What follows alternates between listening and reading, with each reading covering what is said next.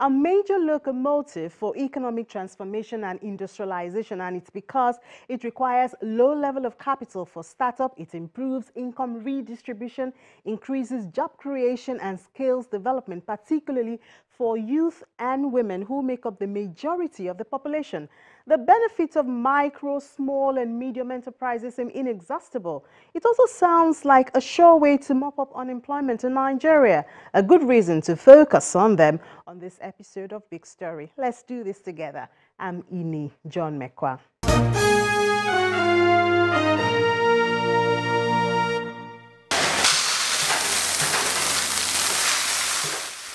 This enterprise has settled for maize as its raw material. Unfortunately, this raw material has to be imported into a country which boasts of being the largest producer of the crop in the continent. We source our corn from a distributor in Nigeria who is registered with the NAFDAC. For the local corn, um, I know there are lots of people that still use the local corn. I guess um, because of what our company is looking out for, it's not giving us what we want. Um, and I feel that um, I think the moisture content in our local corn is too low. So it doesn't give us the pop volume that we require for our product. If the government can look at um, the processing of our local corn, how it can be processed better, how it can be stored better, I think maybe from harvest state, I think, because it dries out too much. Um, the moisture is, and corn requires a, a particular level of moisture. I can't give you the exact figure for it to pop. So that is the challenge that we had with um, our local corn. A lot of people still use it, so I, am not ruling it out completely. I'm just saying because we are also peculiar about what we want to see in our company, so we decided that we rather not use it. Maize, one of the grains prominent in Nigeria, also known as corn, is one of the most popular food crops in Africa. It is cooked in various ways and millions of Africans rely on this crop because it usually costs less than wheat and rice and other common grains and cereals. The importance of this crop became even more prominent in the production of animal feeds. Unfortunately, the African continent produces about 6.5% of 785 million tons, which is the world production, and Nigeria is the largest producer in the continent, with South Africa holding the second place. Annually, Nigeria produces about 8 million tons of this food crop, according to the International Institute of Tropical Agriculture. It is very difficult because it is expensive. And for a small business like us, that's a, is a major issue for us. Our raw materials are actually very, very expensive. But you know, at the end of the day, you still need to provide low um, cost product for people that are consuming this product. You want good, good quality product, but um, at, at low cost. So our margins are actually very small.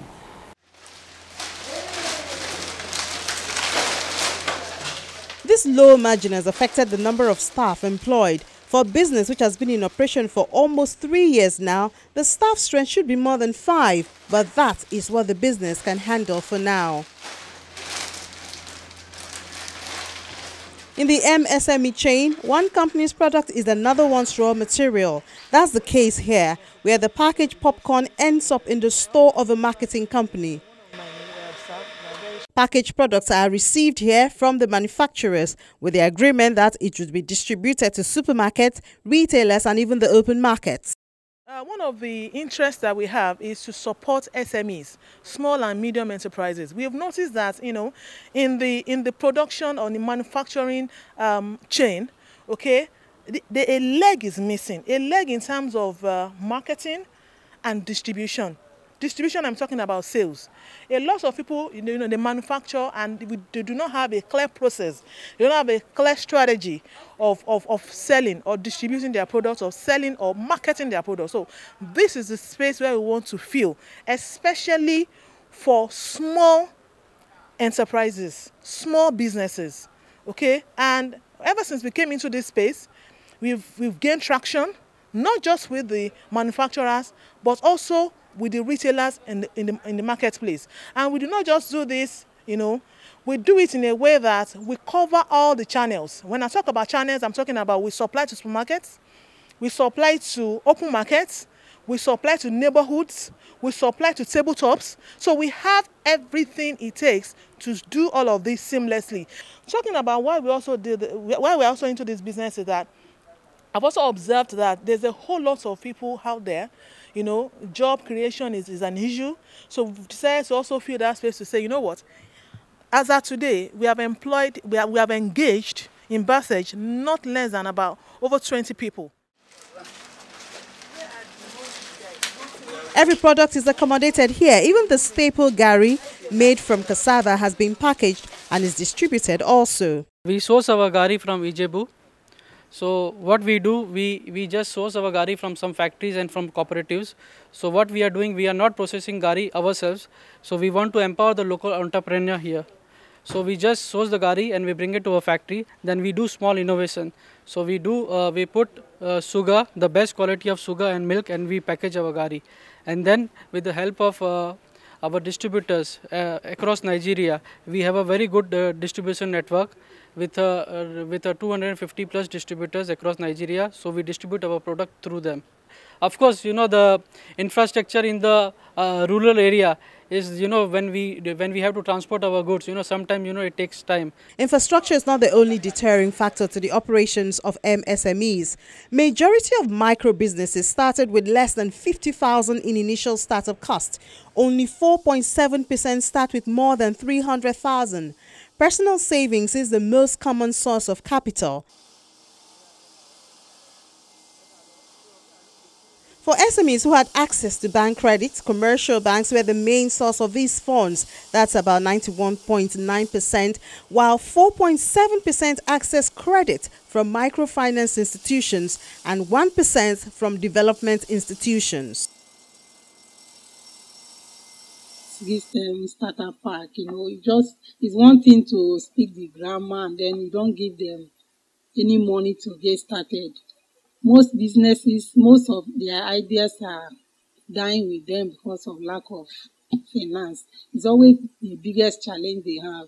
Smedan as an agency doesn't give uh, money, doesn't give loan, you know, but we help, we help them assess it by writing good business plans where we submit them to banks and, and hold them until they get their money. We don't give loan and we work with microfinance bank who their interest rates we make sure is one digit. Most of them even they, you give them money they misuse it. We are also into monitoring government projects, programs, you know. There's one during Jonathan time called the uh, YouWiN. We monitored it and we saw the lapse. We saw how most youths were receiving the money it was a grant of 10 million. Some got it and went and started, you know, buying cars, marrying wives and all that. So they don't really know how to tailor their resources. In um, 1993, highly experienced and respected for building a business from scratch to an enviable status, the founder of the Chair Center Group, Mrs. Ibukun Awosika, has had to deal with being rejected by banks when asking for loans, up to a level when banks offer her business. Mrs. Awosika gladly speaks with business operators on what to consider when choosing a source of funding. If you have a long-term product line, you can't take short-term money.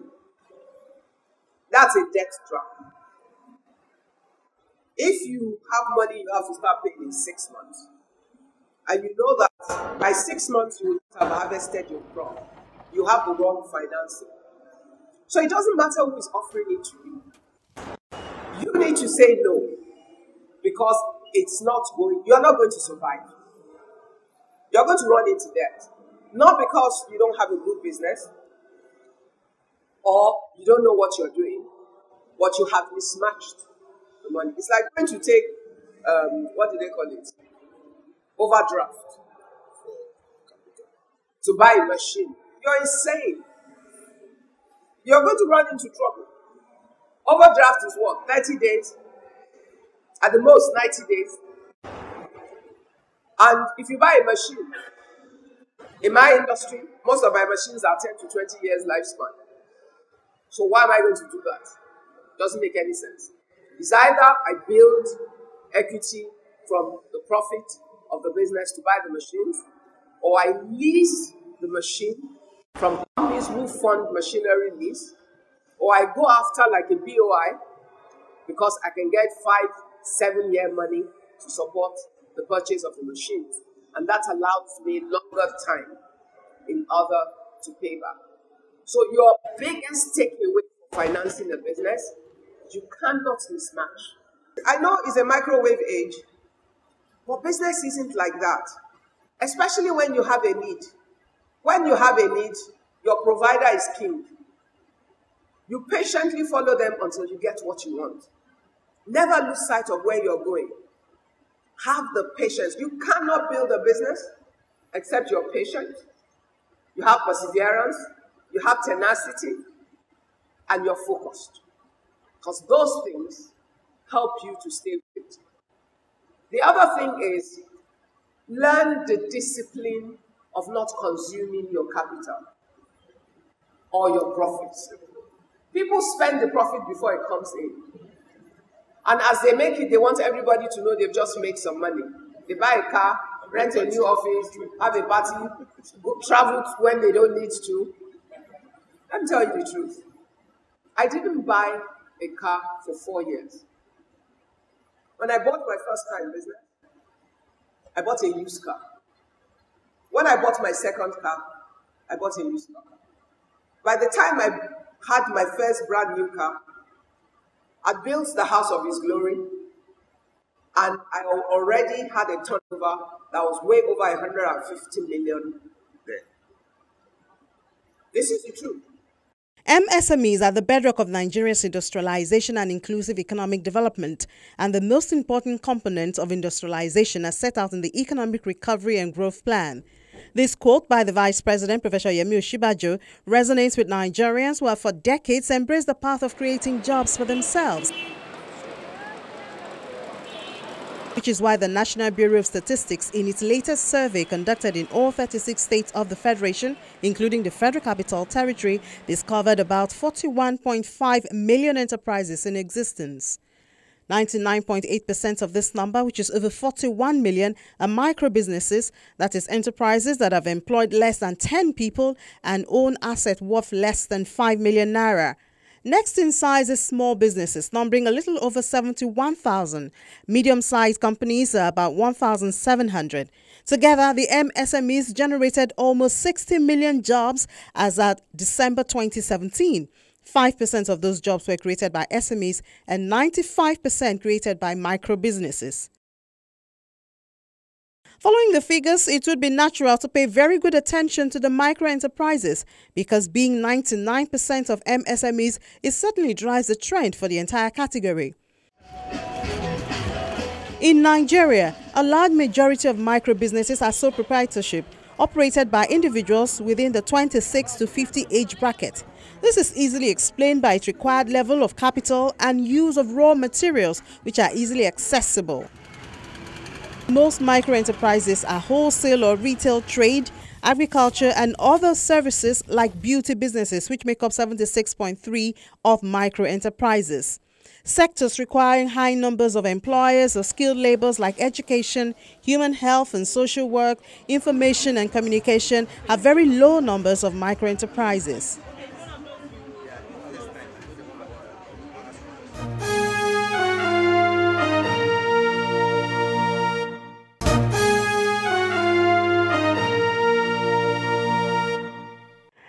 Ethical and effective leadership by the governing body of an enterprise can expand a micro to a small, then medium, and then a large corporation.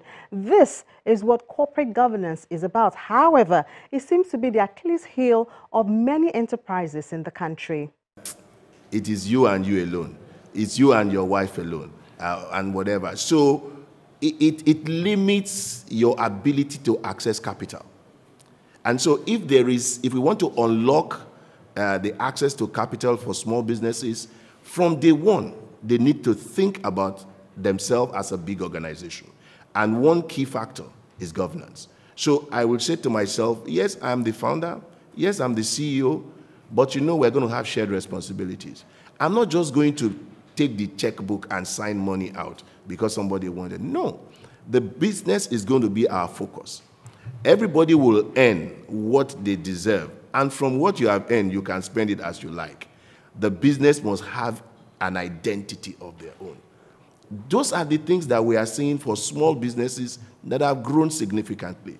And we're going to show them that that is the only way to go. If you want to remain small, no problem. You can continue to do as everybody used to do. But if from day one, your interest is that you want that business to outlive you, then you have to put the right uh, building blocks there. It's like somebody wanting to build a 10 story building. That foundation is very key. And what we are saying is that governance is at the heart of that foundation. Corporate governance is scalable. You can adapt it to the size of the business now and then look to um, raise that business to the next level. One is accountability, which interestingly is a principle of corporate governance. It means accountable to yourself, first of all, and then, of course, to your stakeholders, i.e., your shareholders, your customers, and all of that. Another is succession, which again, you know, I'm trying to tie everything down to corporate governance. Succession, you know, where will this business be uh, when you're no longer there? Either because you plan your exit for an unplanned exit. I mean, anything can happen at any time. And if your customers are not properly taken care of in the scheme of things, it means that if you're no longer there, that business just, uh, just dies off. But some of these terms, with its benefits, seem unreachable to the majority of the micro businesses whose operators are likely to be found in the rural areas, even though situated in states with urban status. I think this is a collective role of society. We all have a role to do what is called capacity building. Now, the capacity of a small business owner or micro business owner, they need the basics of bookkeeping, they need the basics of inventory management, and this is already being done through societies. They have corporate corporations, they have cooperatives, they have societies, they have church uh, or mosque, uh, you know, uh, societies, and this is where we can actually try and imbibe those skill sets. Um, also building marketplaces. I think the likes of uh, EDC can bring it down to the, the village level and help them out. But we have a role, both as corporates and as industry and as uh, corporations like the EDC, to be able to help with capacity building. And you can see we're all at different stages. But we really need to be able to provide those skill sets for them to access funding. Funding is a major challenge. And with new developmental banks coming on board, we have uh, the Development Bank of Nigeria, the Bank of Industry. There are banks that are actually made, and agriculture, there's a lot going into that space. Central Bank is working on, on quite a few. We are already working in various spheres as the EDC, as LBS, to be able to change that narrative. But empower people with knowledge, close the gap on access to finance or capital, and then keep that sustainability going in terms of quality, outcomes, and things like that. The distance between the rural area and also the urban area, I know it's, it's, it's, quite far. But the most important thing is gradually they are getting to know what is going on, they know what is going on, because at the end of the day, anybody that is doing anything that is basic, they still go back to the rural areas. And they also sort of have conversations with them on a regular basis. And with time, we will have to make sure that anything we talk about SME, anything we talk about governance, anything we talk about small businesses, we still have to cascade it down and tell the people because the people that are in those rural areas are the ones that will grow the SMEs and as we continually proceed in terms of letting them know what the basic things are, are required. Now the SMEs also have to understand that there's a price you pay for you to be able to afford these things. So essentially, it has to be a symbiotic kind of relationship parties must come together. You must look at it that they are startups, and you must also look at it that gradually they will grow, and then they'll be a formidable team. So, like I said, cost you must bring down.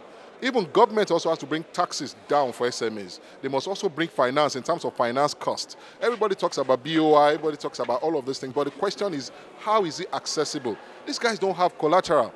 So in terms of cost, you have to make sure that they are, everything is attractive for them so that they can enforce what they need to do and also they can practice what they believe. So essentially, cost is an issue and we must bring down that cost. It must be a deliberate effort by government to bring down that cost. And when those in the rural areas upgrade to the urban, the issue of tax seems to always come up. And for many years now, operators have complained of multiple taxation. I think about when we were three years old, we had a very serious issue as regards taxation, um, because you know in Lagos State you pay LIRS, you pay FIRS, and then the local government is coming with one bill, and you're wondering, what am I selling for crying out loud? That I have to pay this multiple tax on this, and they don't want to care whether your business is doing well or not. And so we're slammed that year that I had to go to, you know, FIRS office myself with all my documents, with even all the documents we use in purchasing, just to be able to see that how can I be owing you 60 million? What business have I done? What is my profit margins? So really, that's another, but right now we've been able to sort out, we are not, we pay our taxes, we pay everything, both Lagos State, but you know, we don't have problems with it. But I imagine when people are just coming up in businesses, if they were not able to manage the situation or handle it the way, maybe that business would have even gone down by now because of the multiple taxation. So I think that maybe there should be tax reliefs to businesses, and then you know maybe they should create a, a platform to say, okay, if you if your profit margins or your turnover is within this rate, you pay this rate.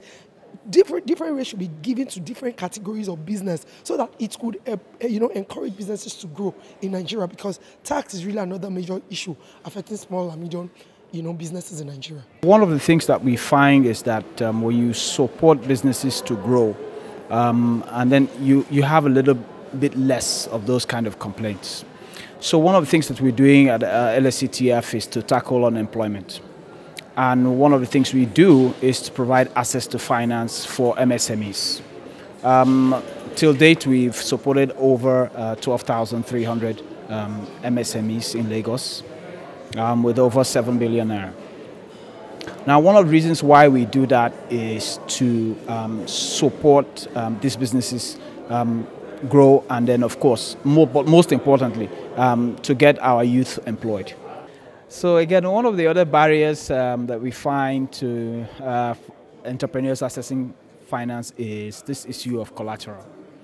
And so we took that away and we ask that they provide us with guarantors. And we have different uh, loan categories at the micro level and at the SME level, just to make sure that we are able to accommodate as many people as possible. So who qualifies for the loan? You're a resident in Lagos State and your business is located in Lagos State, you automatically qualify. And you're above 18 years old, then you automatically qualify. So we are sector agnostic, which means that it doesn't matter what, um, what sector that your business is operating in, we will support uh, your business.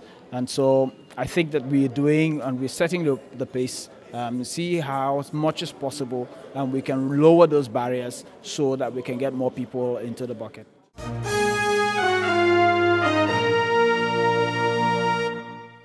Industrial diversification is a national benefit when MSMEs are allowed to flourish.